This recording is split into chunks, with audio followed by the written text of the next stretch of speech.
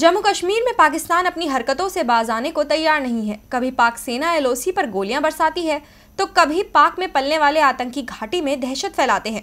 भारत लाख बार पड़ोसी मुल्क को समझा चुका है, लेकिन उस पर कोई असर नहीं है। इसीलिए सेना प्रमुख बिपिन रावत ने अब कड़ी कार्रवाई की चेतावनी दी है। साथ ही भारत से तुलना पर उसे हकीकत का आईना दिखाया है। अभी पिछले दिनों ही भारत और पाकिस्तान के बीच डीजीएमओ स्तर की बातचीत हुई थी, जिसमें भारत ने पाक के सामने बैठ की घुसपैठ और आतंकवाद का मुद्दा उठाया था। इस मीटिंग के बावजूद पाक अपनी हरकतों से बाज नहीं आया। पिछले दिनों पाक के नागरिकों को घुसपैठ करते देखा गया, वहीं पड़ोसी मुल्क की सरपरस्ती में पलने वाले आतंकी भी लगातार भारत की परेशानी बढ़ा रहे हैं।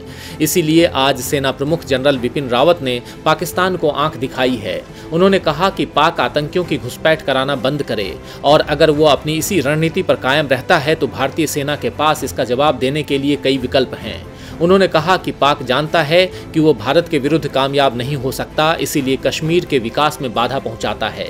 मगर भारत के इस राज्य के पास उसके मंसूबों पर पानी फेरने के लिए बहुत कुछ है और हम विभिन्न अभियानों से भी इसे करने में सक्षम हैं।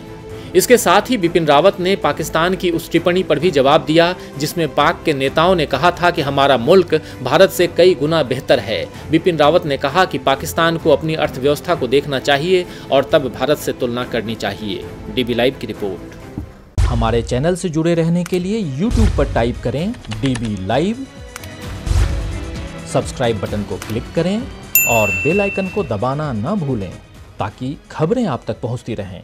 देखते रहिए डीबी लाइव क्योंकि यहाँ हैं खबरें लगातार।